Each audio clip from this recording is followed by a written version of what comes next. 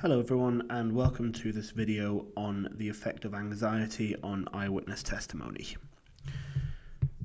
So, by the time we are done, this is the type of question you'll be able to answer and any variation of it. Um, we'll cover a bit of research that will talk about the effects of eyewitness of anxiety on eyewitness testimony. You should be able to write an essay on it and any type of outline or evaluate question as well. Okay, so anxiety has strong physical and emotional effects on people. Okay, now the problem is that sometimes we find that these effects are quite positive, whereas other times we find that these effects are quite negative. And there are, in fact, many research studies that suggest both. Um, so there's some of the things that we are going to look at now. Now I'm just going to flick up a couple of slides here. Um, just take a little look at the pictures and just think about what your eye is immediately drawn to.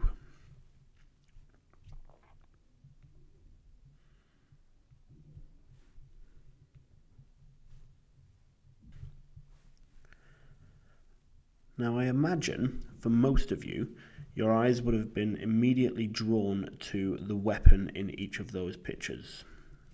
Makes sense because the weapon, chances are, is the thing that's going to hurt you. Now, what I've just illustrated there is something known as the weapon focus effect. And that is something that was investigated by Johnson and Scott in 1976.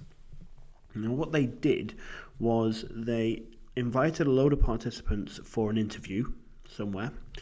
And then, while those people were sat in the waiting room waiting for their interview to happen, participants heard an argument in the next room while they were seated in this waiting area waiting for their interview. After the argument had finished, um, they then saw one of two things. Now, participants who were in a low anxiety condition, they saw somebody walk out of the office where the argument had happened holding a pen that was dripping ink. Whereas in the high anxiety condition, participants saw somebody walk out holding a knife dripping blood. Now, what they found afterwards was that when they asked them to describe the person who walked out, recall was much worse in the high anxiety condition. Okay, it was 49% recall for the low anxiety condition and 33% recall for the high anxiety condition. And that research was where the phrase weapon focus effect came from. Johnson and Scott concluded that the reason that anxiety was uh, sorry the reason that recall was so low was actually because the people were more focused on the weapon that was being held than the face of the person holding the weapon. And the reason being is because you want to keep an eye on that weapon because the weapon is the thing that is going to be hurting you should it come your way. Now that being said there's also research done on the positive impact of anxiety as well. And that was a piece of research done by Yuille and Cutshall in 1986. Now, this research was based on a real life event. Um, participants were all witnesses to a shooting in a shop. So there were 21 witnesses, and 13 of them agreed to take part in this study. And what happened was, was that four to five months after the actual incident, um, they asked them to to you know say what had happened, and then what they said was compared to the original police report. Um, participants were also asked to judge how stressed they'd been, um, and they were asked to do that on a seven-point scale. So, what they then found was that recall accuracy of the events um, and the stress levels when they were recorded and when they were the, when they were then compared, they found that recall was actually better when stress levels were high. So there was 88% accuracy in those who experienced high levels of stress and 75% accuracy in those who experienced low levels of stress. So it's not a massive difference, but it's enough to think, well, hold on, you know, the anxiety may have had some kind of positive impact after all. So how do we then explain the contradictory findings? So what we'll use is something called the Yerkes Dodson law, or the inverted U theory. Now, essentially, if you can see the diagram in the corner there, it says that you need to reach an optimum level of emotional arousal in order to have optimal performance.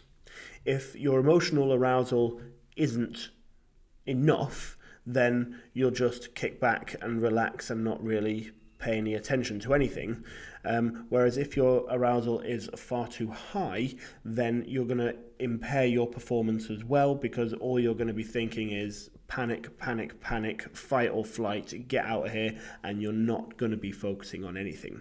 So, actually, what you need is an optimum level of arousal in order to actually perform at your optimum level. And that's what the Yerkes Dodson law looks at. It looks at the relationship between emotional arousal and performance. And it was then Deffenbacher in 1983 who applied that to eyewitness testimony and then essentially said lower levels of anxiety produce lower levels of recall accuracy. Um, however, levels of recall accuracy increase with anxiety up to a certain point, and that certain point is your point of optimum performance. Okay, so there's a nice little thing there for you to use um, to explain contradictory findings. Okay, now those are the three pieces of research, or the two pieces of research, and the one theory that you can use in your outline section for this. Now, I say outline section, some of them can also be used in the evaluation as well, which is what we're going to come on to now. So first off, you can actually use Yuille and Cutshall as contradictory evidence. So if you, in your outline to an essay, for example, if you only outline Johnson and Scott, which you could do, there's nothing to say that you have to outline both of them unless the question specifically requires you to do so, then you could quite easily outline Johnson and Scott and say that you know anxiety reduces accuracy of recall, and then use Yuille and to actually contradict those findings and say, well, no, hold on, Yuille and found that it doesn't decrease accuracy; it actually increases accuracy. Based on how much we know about the study, that would make a very nice chunky evaluation point because you can talk about what they did, what they found, and then the conclusions, and then you know what it actually means for the um, for the outline. So I won't go into any more detail on that one because obviously I talked about it before. Um, I'll just point out that it is a good one to use. Okay, moving on then, there's another limitation, and it's also research based, and it's a limitation or it's contrary research for to the weapons focus effect. And it says the weapons focus effect might actually be irrelevant. So this was research done by Pickel in 1998, and they said that actually it's not the presence of a weapon or it's not the presence of something that's dangerous um, that is causing them to have lower recall, but it's actually the presence of something that's surprising. So what they did was they showed participants a video of a hairdresser's salon or hairdresser's scenario, um, and they used a wallet, a handgun, a pair of scissors, and a raw chicken as the handheld items. And what they found was was that eyewitness accuracy was actually significantly poorer in the high unusualness conditions, i.e., the conditions where people were holding the, the raw chicken or the handgun which then suggests that the weapons focus effect is actually due to the unusualness of a situation rather than the anxiety or the threat that the handheld item actually poses, and therefore it doesn't actually tell us anything specifically about the effects of anxiety on eyewitness testimony. Okay, so you've got two evaluation points there. You can have one more. Um, it's a small one. Um, it's a limitation again, and it's an ethical issues one. Um, it's just a nice one to throw in at the end if you want, and that is that a lot of research into eyewitness testimony actually deceives participants. So, for example, Johnson and Scott, you had the fact that they thought that they were being invited to an interview. Um, the, also, they have this problem of protection from harm which is an issue particularly for studies like Johnson and Scott's study, um, because you know they exposed their participants to a man holding a bloodied knife, uh, which could have caused extreme feelings of anxiety. Um, so, you know, these participants may have then left the experiment feeling exceptionally stressed, anxious. Um, you know, you never know, you know, whether one of the participants has um, known somebody who was the victim of a knife crime or they they if they themselves have been involved in something like that. So that could have easily have triggered some kind of traumatic episode. Um, so yeah, there was definitely an issue of protection from harm there as well. So that's just a another evaluation point to throw in at the end if you wish. But remember, you've got Yuille and as contradictory evidence. Um, whether you use that as an outline point or whether you use it as an evaluation point, that's up to you, um, and also up to the kind of question that you get asked. Um, just very quickly, if I come back to that,